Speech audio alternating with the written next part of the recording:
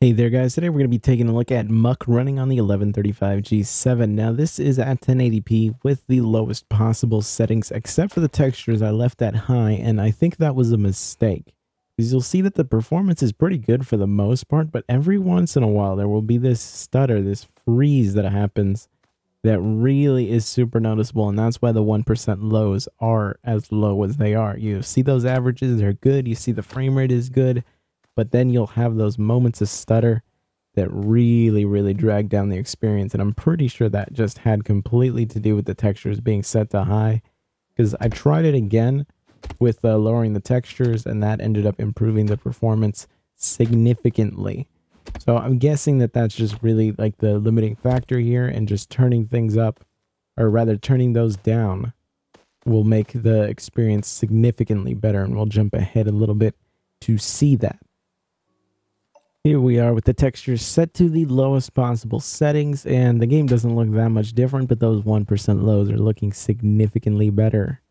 You are going to see that the stutter happens still here and there, but it was significantly less frequent than uh, when it was set too high. So it's not something that's completely eliminated, but it does get fixed for the most part in the sense that it doesn't happen all the time. Unfortunately, I got immediately attacked as soon as I spawned in. So I was just running away. But you'll see that the 1% low is improving as we run around. The stutter doesn't really happen. It pretty much just happened that one time in this run.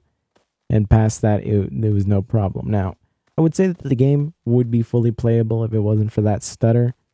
I don't think it's game breaking, but when you have a lot of enemies around you running around trying to get you and you're just surrounded by all of your friends and you're just going crazy on here, I think that it can be debilitating to the point that it might get you killed. But like you can see, the game is fully playable for the most part, and those 1% lows are kind of misleading in the sense that, I mean, the, the stutter does happen, but it does improve significantly once you have the reduced textures. But it's pretty much one of those games that you can play on here pretty comfortably. It plays better than most other games, even if those 1% lows aren't the greatest thing ever.